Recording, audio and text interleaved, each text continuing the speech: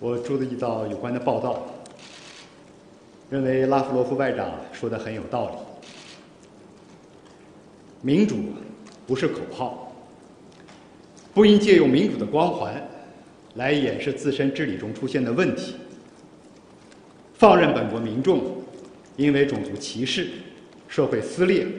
贫富拉大等问题付出沉重代价。民主也不是教条，不应不顾世界各国历史文化、社会制度、发展阶段千差万别，试图把民主变成可口可乐，一个国家生产原浆，全世界一个味道，剥夺各国探索本国民主道路的权利和自由。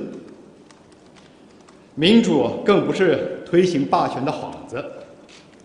不应打着民主旗号，将意识形态和价值观。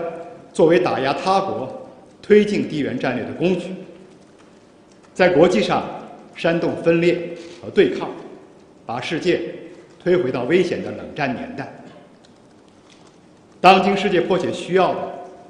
不是召开所谓的民主峰会，也不是建立什么民主国家联盟，而是遵守以联合国宪章为基础的国际关系准则，加强全球协调与合作。携手应对疫情肆虐、气候变化等全球性挑战，共同推进人类进步事业。